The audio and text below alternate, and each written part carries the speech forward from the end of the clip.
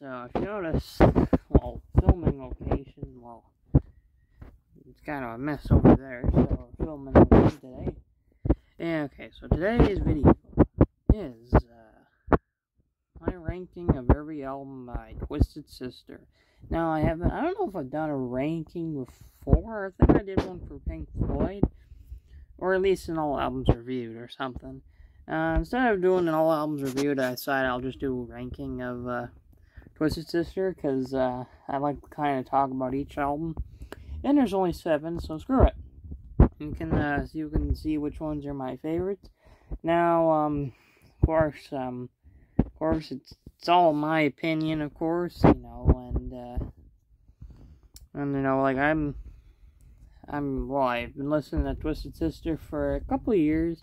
Um, and delved into their catalog, and so um, I'm more, but I'm you could consider me more of a new, a newer type type person to the Twisted Sister. Like while other people have had like what, thirty um, almost forty years of listening to some of these albums and stuff. Uh, like um, but yeah, there's um and I'll just go ahead and say there isn't an album I particularly call bad on its own merits or something like that.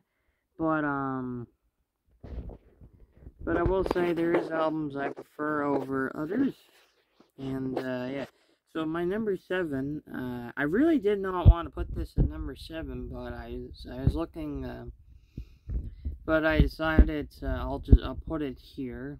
And so it's uh, still hungry, which um, might come as a shock to some people. Although I met people recently that also put it at least number seven or number six.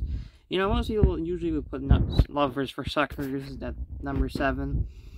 The thing is, is that um, still hungry, though very good.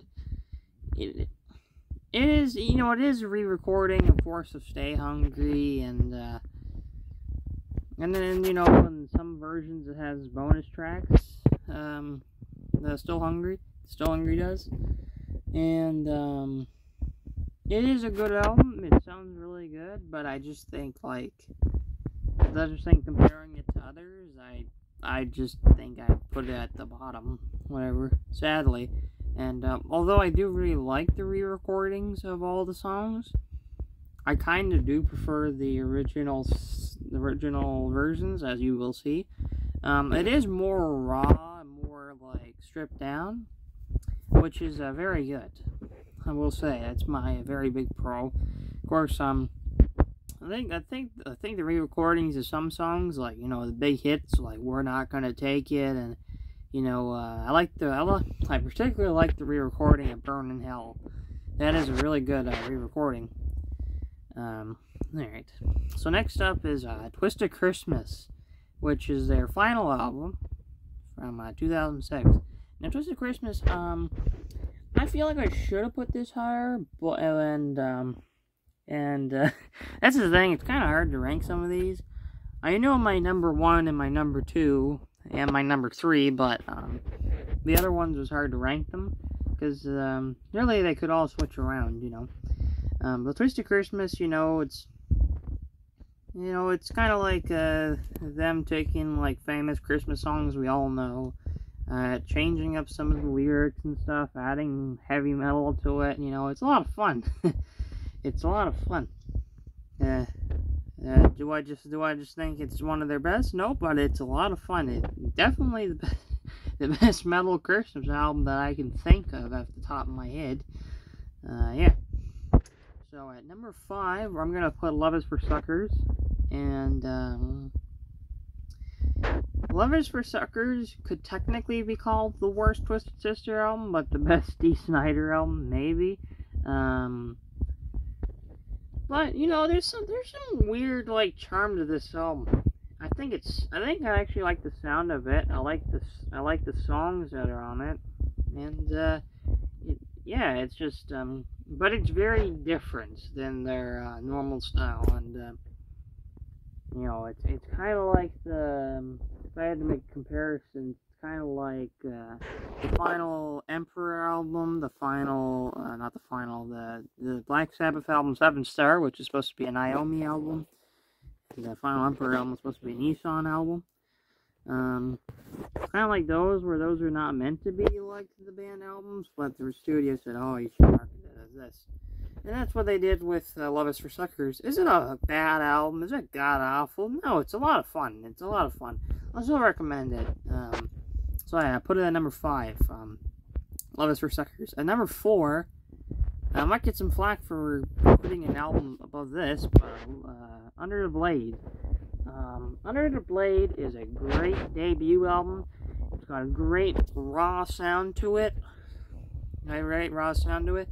But, you know, there's some stuff in it that you know, I just think that, you know, it could have been improved over time. And you know what? You know what? Twisted Sister definitely improved some of the some of the stuff over time with it. You know. But it's a great debut album. Probably one of the better debut albums there is, Under the Blade. Um, yeah. So that's what I'll put at uh, number four. Great songs, too. And also great cover of, you know, them going, like, all posing and stuff. I like that. Um, at number three, I will put, uh, I'll put Come Out and Play. I was considering putting this in number two, um, but I think number two has a bit more, is, well, is definitely much more legacy, definitely very classic.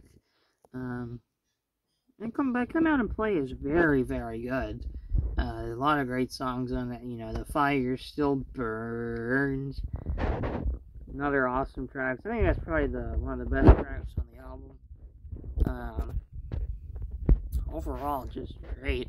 It's not really too much to say. I'll also say that it is a bit of a. I will say that it is like. Like, it sounds very much cleaner than the first three albums. And, you know, the first three albums are much, like, heavier, a little bit more raw. And uh, I kind of like the production on those, the first three, a bit more. But it is, uh, yeah, but it is a great album. Come out and play. That's my number three. At number two, I will put.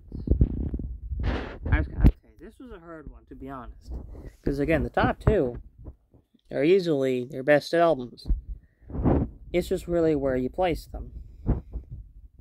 But um, I think they progressed uh, uh like a lot more, especially for them, their career and everything. On this, on their number, on the one I put at number one. So at number two, I put you can't, you can't kill rock and roll or you can't stop rock and roll. You know, keep. I don't have the paper with me, so I always forget the, which which one it is because you know there's album, there's songs. But anyways, you can't stop rock and roll is a classic, raw, heavy album. You know, like you know everyone likes the song "The Kids Are Back." You know all that. Other great songs on here. You know, it's just go listen to the album. It's a great album. it's really good. But at number one, you know, it's kind of a popular choice, and usually I don't stick to the popular choices, but, you know, it's kind of... Stay, stay hungry, man. That is a great, that is a great album. Now, I do want to buy the rest of this, the only one I actually like, own, own. But that is, this is a solid album, you know. I never need to hear we're not gonna take it.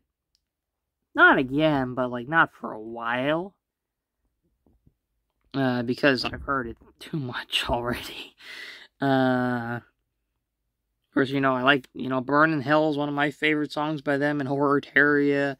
Uh, again, I Want to Rock, you know, I could, I, I, you know what, I can still do I Want to Rock. That's a pretty good song. And you know, other great songs in here too, and uh, like The Beast, SMF, and all that. Classic. Just classic heavy metal. And really, like, and it's probably their best production on an album. Maybe, you know, if you wanna, if you wanna talk about that in the comments, feel free. Feel free. Anyways, um, anyways, you know what? I'd actually I'd, I'd encourage you guys to check out every single TS album. As long as you're listening to TS, it's all that matters. uh, or as long as you enjoy TS, it's all that matters. If you don't enjoy TS, that's also fine, you know. It's not everyone likes to say not everyone likes the same stuff. And you know, if you disagree with me, yeah, no, that's it's completely fine. You know, we all have different opinions and stuff. Should I put Love is for Suckers up high? You know, feel free to talk in the comments. Feel free to put your own rankings in the comments, you know? You know, this is about discussion and stuff, not about, you know, arguing, not about arguing, causing wars and stuff. Yeah, my, so yeah, number seven, still hungry. Number, number six, uh, Twisted Christmas. Number five, Love is for Suckers. Number four, Under the Blade. Number three, Come Out and Play. Number two, You Can't. I want to say You Can't Stop Rock and Roll. I keep forgetting the title. And number one, Stay Hungry. That is my ranking of Twisted Sister, and I thank you all for watching. You know, and this is, uh, again, it's a really good band. I really like them. Uh, is there any other bands you want me, you guys want me to review anytime, you know? Uh, I generally like to do bands where all their albums are like kind of available. Some of the bands I listen to, well, they, they, their albums keep getting unlisted and stuff or all this, and you know that sucks. Um, I'm hoping to do uh, Van Halen next. Uh, I don't know if anyone here likes uh, Van Halen, but I'm hoping to do a Van Halen ranking. Uh, which, what is the best Van Halen albums? And you know what? I already have it thought out in my head. Thanks for watching.